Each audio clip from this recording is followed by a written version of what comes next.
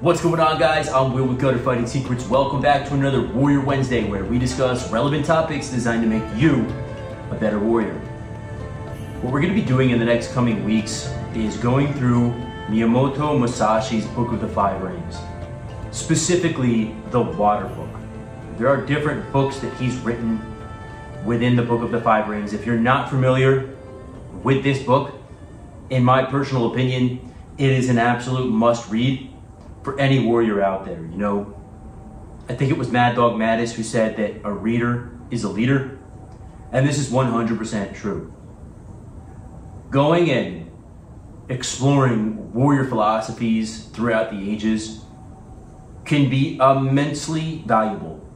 No matter whether you're a martial artist, a soldier, a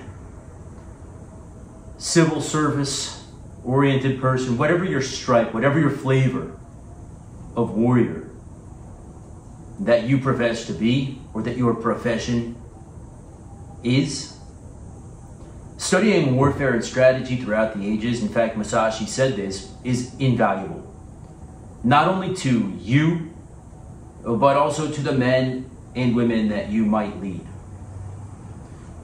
So, in this book of the Five Rings, Musashi wrote many wise words on strategy. The Water Book contains 10 precepts that he believed were essential to meditate on individually. The first precept, and I'll list right here all of the precepts that we're going to be discussing in the coming weeks. But the first precept that he thought was important to meditate on was do not think dishonestly. Now you might be thinking to yourself, Will, what are you talking about this for, man? Like, what are we going over morality here? In a manner of speaking, but there's a tactical advantage to studying this as well. Okay, sure, we shouldn't be dishonest.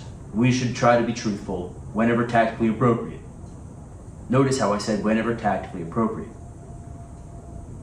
Obviously, if you're doing undercover work or something like that, being honest isn't tactically advantageous, right? But Musashi didn't say, don't be dishonest. He said, don't think dishonestly. And what I think the main point he was trying to come across with is not being dishonest with ourselves. Now, obviously, we shouldn't cheat, we shouldn't lie, we should try to uphold uh, a high code of ethics, a high moral code with each, each, within each one of ourselves. This is the way of the warrior. This is what distinguishes us between the criminal or the bad guy, right? A professional warrior should have a high code of, of honor. But we really have to be very honest with ourselves. We have to be honest with ourselves with our training. Where are we succeeding? Where are we failing? Where do we need to work on more? You know, when, when we go and the guys out there who are jujitsu guys, you'll know what a discouraging art that really is. You're constantly battling with yourself, right? You'll have a good couple of rolls and then a week later you just get beat by everybody. Maybe even a white belt sweeps you and, and takes a, a submission on you and you're like what the fuck? Like i can't even believe like what is wrong with me? Sometimes you make good progress and then your progress dips like that. It's almost like the stock market right? You you need to be very honest with yourself however because sometimes we can fool ourselves and kid ourselves in our training and say i'm strong bro. What do i need what do I need to do these extra 100 push ups for every day, bro? Like, that's just a waste of time and energy. Well, no, no, it's not, right? Even if you are strong, you can always become stronger. You can always push yourself to be more disciplined and do things that you don't want to do. To do those 100 push ups on your off days or even every day if you're up to it. Just mentally speaking is extremely invaluable, but not to mention the physical benefits it has as well.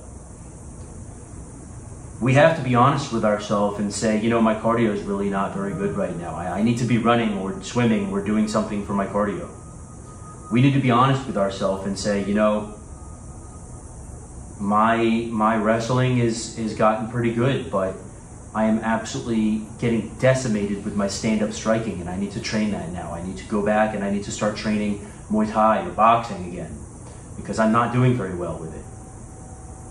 We have to be honest with ourselves and say, you know, I just I don't know enough about the AR or AK platform.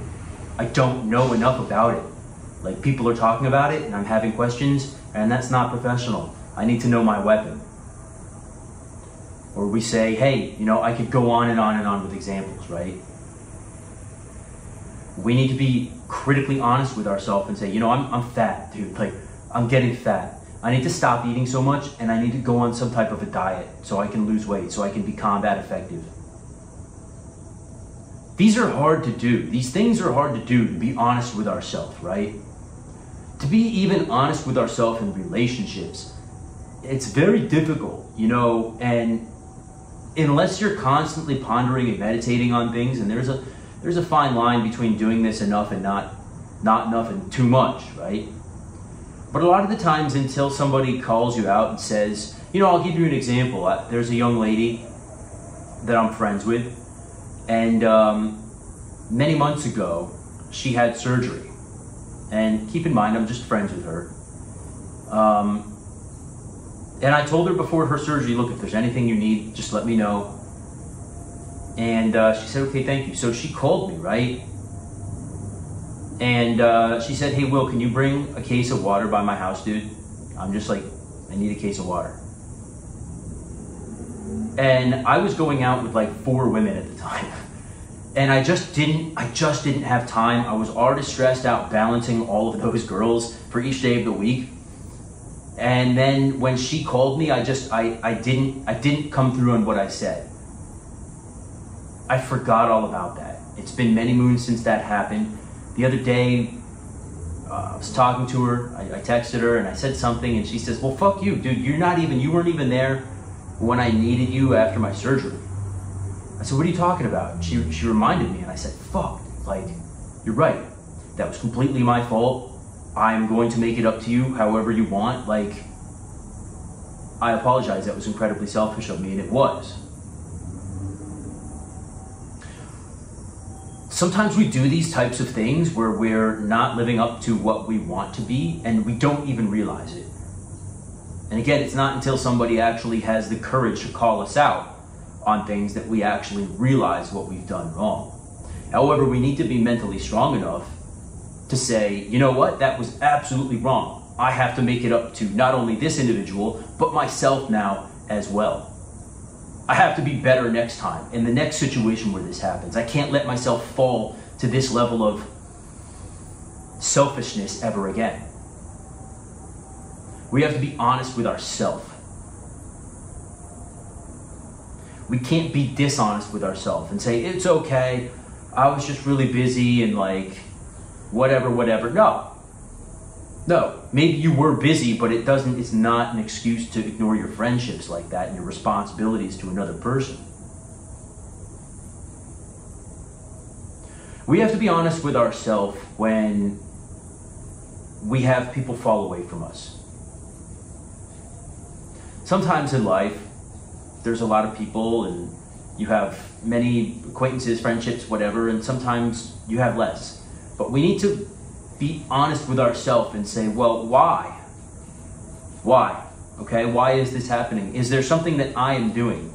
Is there some character flaw, character default within myself that is driving people away? And we have to analyze that. We have to be willing to be honest with ourselves. Now, maybe it's just the time of the season, right? Maybe there's not too too much we can come up with that's actually happening to push others away. But maybe there is maybe we meditate on it and we say, you know what, I've really been, this is whatever this behavior is, is just pushing people away. It's a toxic behavior, it's whatever. I have to fix that now. These are just small examples, interpersonal examples. You know, I gave you some some some training examples. And we'll talk about Musashi's next precept in the next Warrior uh, Wednesday. The way is in training and how we can actually fix most of this through training. That, that's for another talk, and I think it'll tie in nicely. We have to be honest with ourselves. Sometimes in dating, this happens where we come and we find out that hey, like this this person was I don't really ever have people cheating on me personally, but like not that I know of at least, but sometimes it does happen. And we have to be willing and, and honest with ourselves enough to say, all right, well, that person's a fucking scumbag for doing that, but why? What did I do, if anything, that drove them to that? We have to be honest with ourselves at all times in order to better ourselves, not only as a man, not only as an individual, but also as a warrior.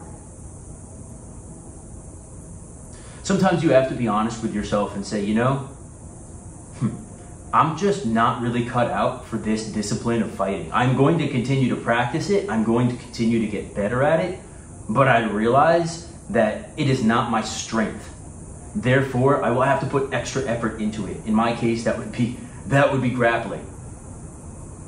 I've gotten way better at it over the years, but it's not what I'm built for, man. It's just with my body type, it's not what I'm personally built for. But again, this is not about me. We have to be honest with ourselves. And so we say, oh, grappling is not my strong suit. I'm better with my longer limbs suited for striking. Or maybe I'm flexible and I can kick well. I'm honest with myself and I understand this about myself. That doesn't give me an excuse to quit it. That means I have to work even harder at it to develop myself even more. Oh, I'm not bringing enough money in. Why? What is my excuse? Am I being lazy? Is my job shitty? Do I need to be more more diligent and thoughtful about perhaps doing what I have to do to make a second income or find a better career. Being honest with ourselves isn't fun. It's something that only strong people can do. And I know that you are a strong person because you're watching this. I mean, your average person does not watch this stuff. They could care less.